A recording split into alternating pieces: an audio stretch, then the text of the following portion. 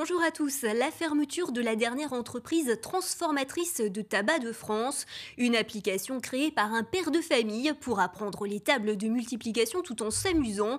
Des idées sorties, mais aussi le portrait d'Henri IV réalisé entièrement en Rubik's Cube. C'est au sommaire de votre hebdo vidéo.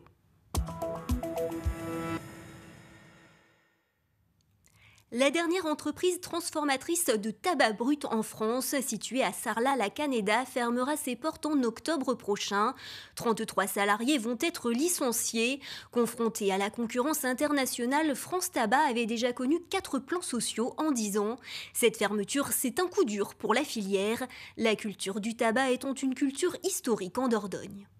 Une usine quasi déserte, un outil de production qui ne tourne pas ce jour-là. Difficile d'imaginer qu'il y a 20 ans, 200 personnes travaillaient ici. L'usine était alors réputée pour son matériel, mais aussi pour son savoir-faire. On avait un outil de travail euh, euh, qui était reconnu par euh, tous les, clients. ils venaient à Sarlat parce qu'ils savaient que voilà, ils, auraient du, bon travail. Et puis, puis des salariés qui étaient compétents. on était on, avait été formé à différents postes. Euh, on a voilà, c'est une compétence qui, se perd, quoi. C'est dommage. Après 34 années passées dans cette entreprise, c'est avec émotion et regret que Laurence voit la date de fermeture approcher. Un sentiment partagé par le directeur de l'établissement. Un sentiment d'image gâchis quand même, malgré tout. On se dit, bon, peut-être qu'il y avait encore des choses à faire, mais le terrain n'a pas suivi euh, euh, par rapport aux exigences d'un marché euh, qui est mondial, avec une pression sur les prix. on a perdu depuis, depuis 10 ans, on a perdu énormément de planteurs et de surface. Euh, c'est un outil euh, qui normalement, à minima, doit recevoir 8000 tonnes pour être au seuil de rentabilité. la production française de la récolte 2019, qui est en cours de, de cueillette, on, on est à peine à 5000 tonnes. Déficit de matières premières, conjoncture internationale tendue, Éric Tabanou porte un regard pessimiste sur l'avenir de la filière qui vit selon lui ces dernières heures. De nouveau juste en Dordogne, il s'agit de Lucien et de Marcel Cousinet qui ont reçu cette distinction à titre posthume. La cérémonie s'est déroulée en présence de leurs descendants. Sous l'occupation, ils avaient caché un adolescent juif de 14 ans qui avait fui Paris. Ils sont ainsi devenus les 107e et 108e justes de Dordogne, la plus haute décoration civile d'Israël. La France compte 4100 injustes.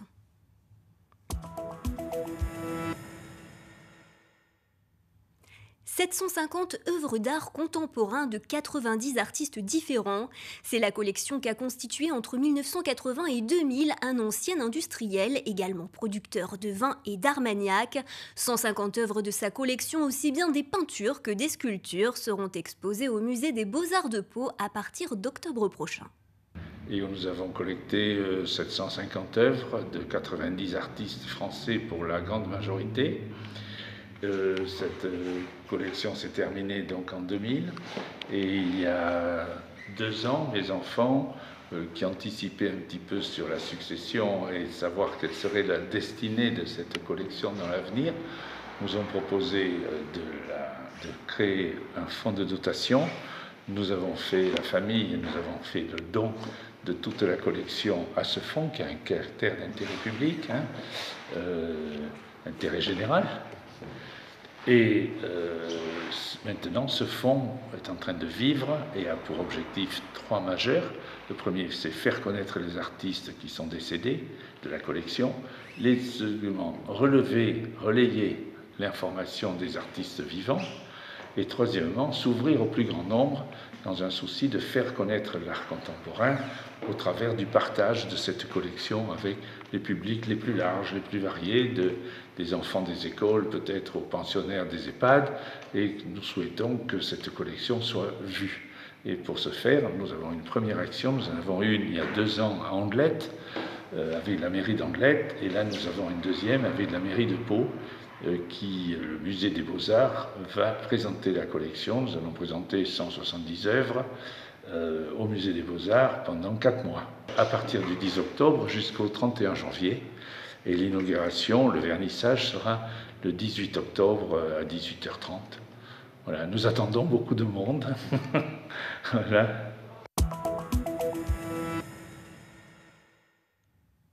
Un portrait d'Henri IV réalisé entièrement en Rubik's Cube. C'est la prouesse réalisée par les membres de l'association Fastenkuber à l'usine des tramways de Pau. Il a fallu pas moins de 600 Rubik's Cube pour réaliser le portrait d'Henri IV. L'association n'en est pas à son coup d'essai. Elle a déjà réalisé dans le passé les portraits de Bernard Hinault, Michel Bernos ou encore Jean Dujardin.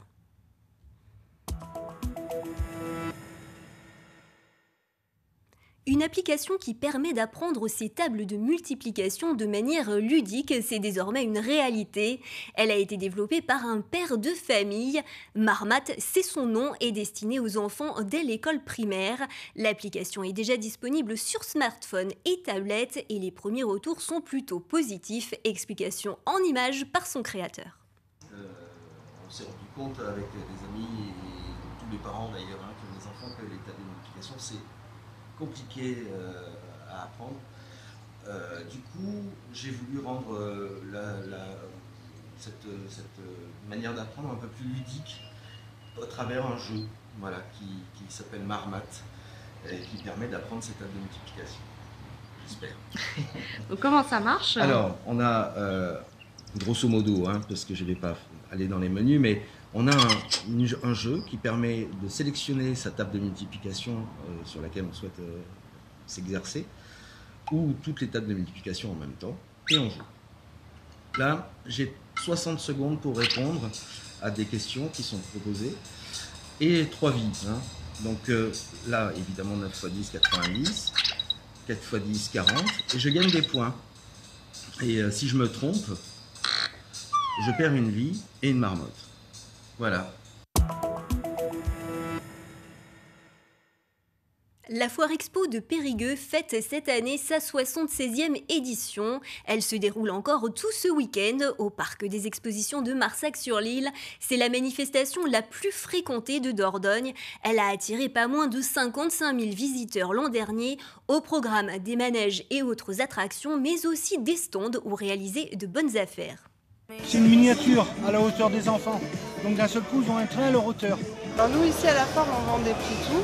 Donc faire du dressing parfait, c'est-à-dire aider les femmes et les hommes à euh, plier leur linge de manière à ce que ce soit propre et surtout qu'on s'y retrouve. Ça fait maintenant 30 euh, ans que l'on vient, depuis la création euh, de l'entreprise ça nous permet de rencontrer euh, nos anciens clients, les nouveaux enfin, qu'on a signés et qui sont actuellement en train de construire. Et euh, aussi, c'est une autre façon aussi de, bah, de, se faire connaître, parce qu'on n'est pas connu tout le monde, on est une entreprise locale. Familiale. Voilà, familiale, indépendante. et euh, ça depuis trois générations. On est local à la base, on est à Trélissac. Avenue Michel Grenouille, ça fait 19 ans, presque 20 ans qu'on est là. C'est la fin de cette hebdo vidéo. On se retrouve la semaine prochaine. Bon week-end à toutes et à tous.